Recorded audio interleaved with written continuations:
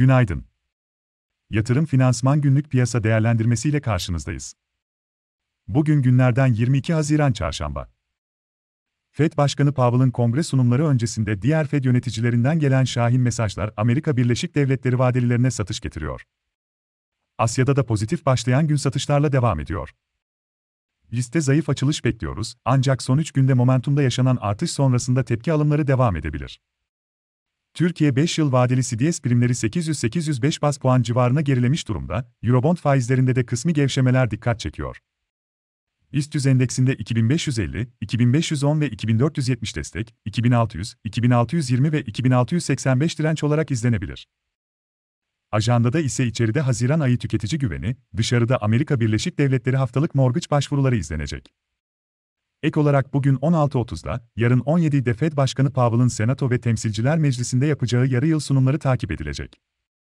Powell'ın parasal sıkılaşma sürecine dair vereceği mesajlar küresel risk iştahı açısından belirleyici olabilir. Yatırım finansman olarak bol kazançlı bir gün dileriz.